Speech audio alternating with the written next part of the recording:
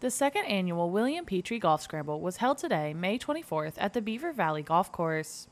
The scramble honored William Petry, who was killed in the line of duty during the Allen shooting in 2022, and raised funding for the Shriners. It's awesome to be able to see, you know, it's still two years later almost that we're still remembering him and what he did when he was here and being able, I know I saw it, but I'm glad other people were able to see what he did here and how great he was. He, uh, he loved this scramble. We, uh, we'd always try to get in this scramble every year we could and he uh, loved being a part of it and helping out and that was just one of his big things was helping out kids. You know, not everybody's as fortunate as others, and just being able to help and you know try to help them out is one of the big things that he tried to do.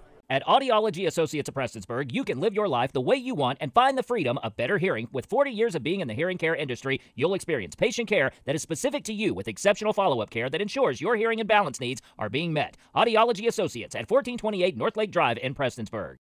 Proceeds from the event will go towards providing free transportation for local children to hospitals in Lexington, Kentucky and Dayton, Ohio.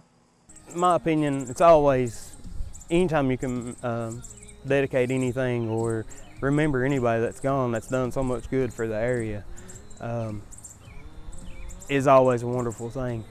There's so many great people that do, goes unrecognized out there. And for us to be able to be here today and be able to say, hey, we're going to do this for William Petry. And having his son here be able to play at the same golf course he played, um, it, to me, it, it, puts a little more uh, emotions into it. Uh, his, his son and his wife um, are tremendous supporters of us now, even now that he's gone. Uh, they, uh, they're able to see what we can do for them and, and help other kids in the community too. Reporting for Mountaintop News, I'm Brianna Robinson.